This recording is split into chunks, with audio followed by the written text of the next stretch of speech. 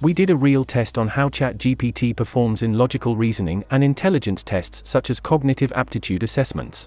Let's see how well ChatGPT does on a real cognitive aptitude test by counting how many questions it gets right and how many it gets wrong.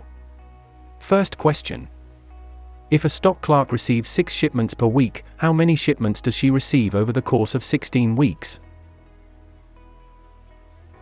The stock clerk receives a total of 96 shipments over the course of 16 weeks. This can be calculated by multiplying the number of shipments per week by the number of weeks. 6 shipments per week times 16 weeks equals 96 shipments.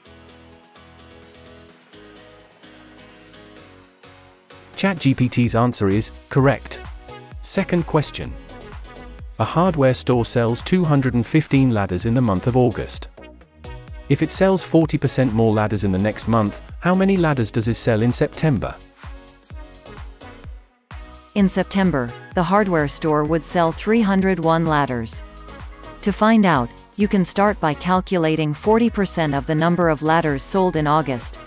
40% of 215 ladders equals 0.4 times 215 equals 86 ladders. This represents the increase in sales from August to September. To find the total number of ladders sold in September, you can add this increase to the number of ladders sold in August. 215 ladders plus 86 ladders equals 301 ladders. Therefore, the hardware store would sell 301 ladders in September if it sells 40% more ladders than it did in August. ChatGPT's answer is correct. Third question. A company product development division has 60 employees. Of these, one third are engineers. If 40% of the engineers are moved to another division, how many engineers will remain in the product development department?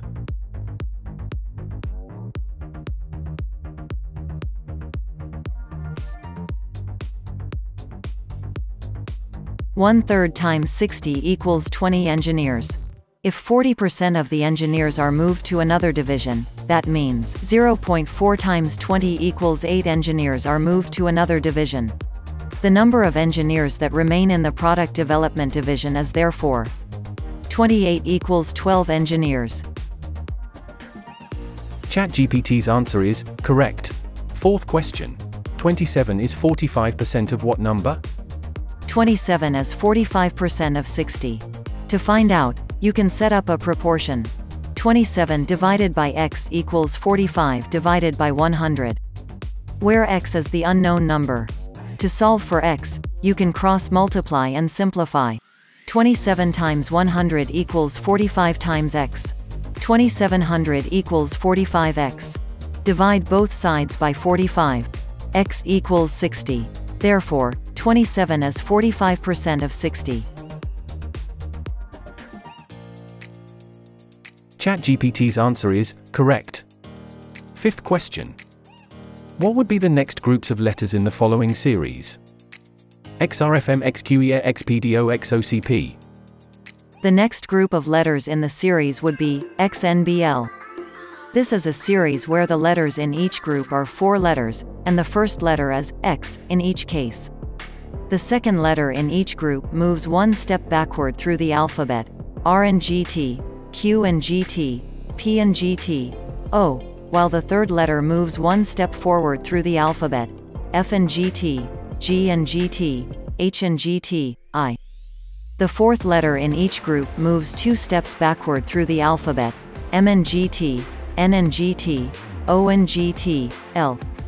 Applying the same pattern to the last group of letters in the series, XOCP, we get asterisk second letter, moves one step backward from P to O.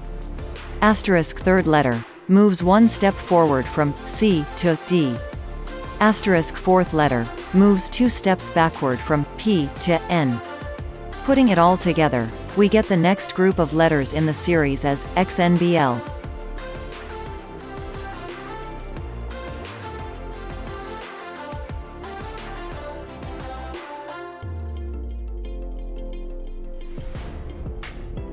ChatGPT's answer is wrong.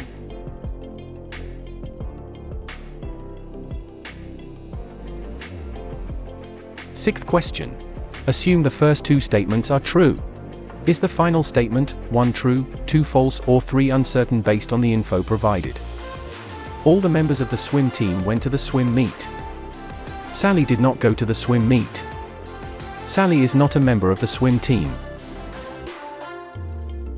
The final statement would be 1 true based on the information provided. If all the members of the swim team went to the swim meet and Sally did not go to the swim meet, then it follows logically that Sally is not a member of the swim team. In other words, the fact that Sally did not attend the swim meet is inconsistent with her being a member of the swim team, since all members of the swim team went to the meet.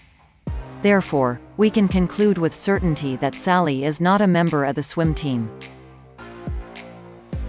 ChatGPT's answer is correct. Seventh question. Assume the first two statements are true. Is the final statement 1 true, 2 false, or 3 uncertain based on the info provided? Robin works at the same office as Charles. Charles works at a different office than Alex.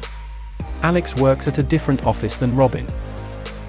The final statement would be 1 false based on the information provided. If Robin works at the same office as Charles, and Charles works at a different office than Alex, it does not necessarily follow that Alex works at a different office than Robin. For example, it is possible that Charles works at Office A, Robin works at Office A with Charles, and Alex works at Office B, a different office than Charles. In this case, Charles and Robin work at the same office, and Charles works at a different office than Alex, but Alex and Robin do not necessarily work at different offices they could both work at Office A.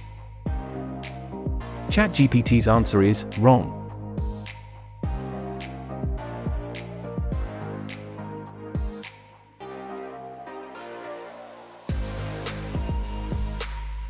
Thank you for watching. Please consider subscribing if you like this video.